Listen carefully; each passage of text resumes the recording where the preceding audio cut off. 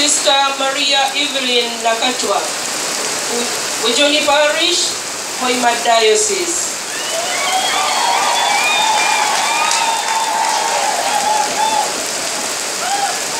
nzuuno mukama wange anti gwompise